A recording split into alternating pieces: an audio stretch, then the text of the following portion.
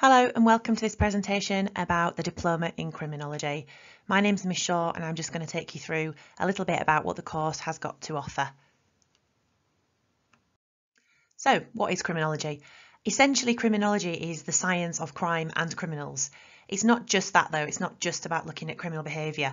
Um, it's basically an analysis of how crime affects society in general as well as the victims of crime. Um, you will consider various different theories and ideas about how crime might occur and why people break the law. So some of these theories could be biological, genetic, psychological, individual and sociological. Um, there are aspects to criminology where we also look at how we should best control and prevent criminal behaviour and examine the way the law works, as well as the role of the criminal justice system in Britain. Okay, so what will I study on this course? Over the two years, you will study four units. This is actually an applied course, which means that you will have already gained 50% of the course after year 12, and that will give you the certificate in criminology.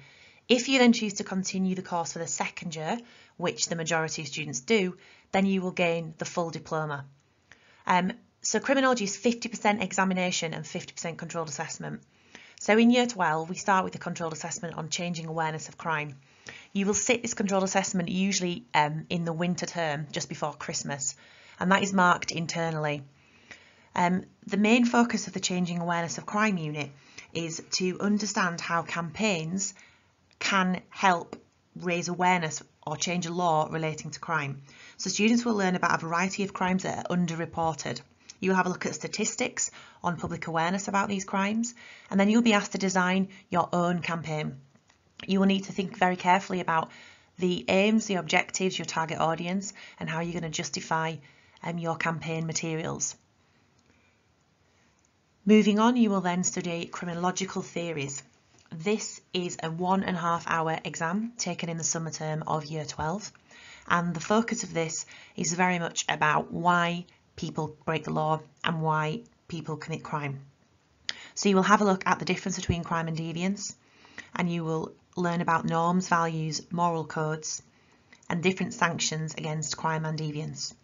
You will then move on to looking at sociological, biological, individual, psychological, and genetic explanations for criminal behaviour. Moving on to year 13, the first unit 3 is another coursework slash controlled assessment. So again, crime scene to courtroom will be sat in the December term and internally marked. This focuses on every single aspect of a crime, right from the initial crime scene all the way through to prosecution and even appeal. So students will look at some of the techniques used by the police and have a look at the criminal justice process throughout the various stages.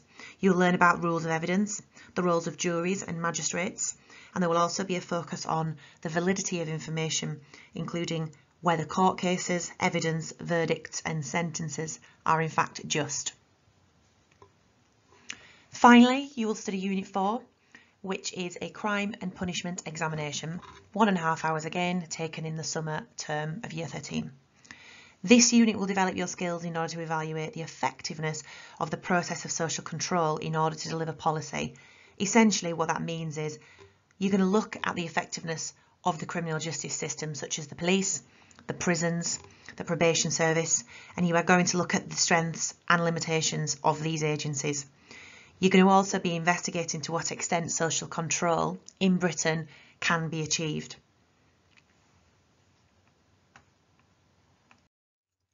So just to give you a flavour of what you might um, be studying in class, the crime scene to courtroom unit is what you would study in year 13 and um, as you can see from the slide, this examines the role of the crime scene all the way through to the courtroom the investigation to understand all of the roles that the different people play in the criminal justice system.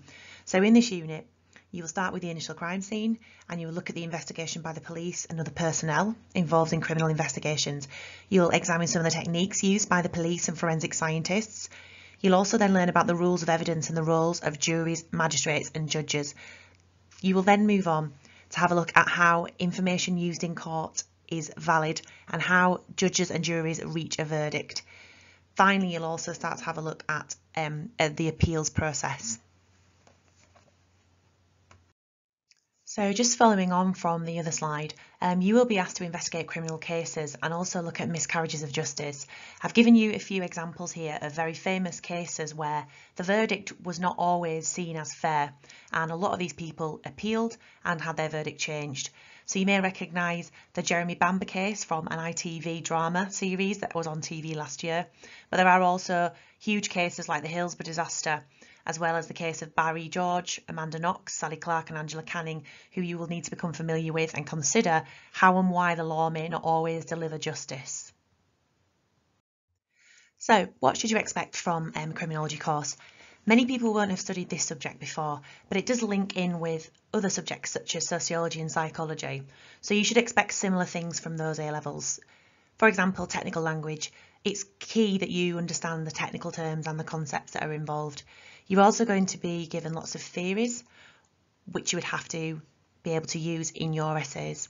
We are going to discuss controversial issues such as domestic violence and capital punishment, and it'd be great if you could talk about these sensitively and also have an opinion on them. Um, the controlled assessment element of criminology means that you do have to be an independent learner and be prepared to do your own research to collate your own notes. We will be looking at criminal cases and investigating them, but also analysing and designing our own campaigns in order to change the law. You will also need to understand the different roles of the criminal justice system um, and as previously stated, consider whether justice is always served. Anybody who enjoys debates, has a, an opinion and wants to share it um, and can develop excellent evaluation skills will hopefully enjoy um, the lessons and the course. Okay, so a few questions to consider before making a decision to choose criminology. If you've ever considered what makes a person criminal, or whether you can tell a serial killer just from what they look like, then these are the kind of things we would be debating on the course. We're also going to have a look at the law and whether we think it's fair and equal for everybody. Do judges and juries always get it right, i.e. does democracy actually work all of the time? How should we punish offenders?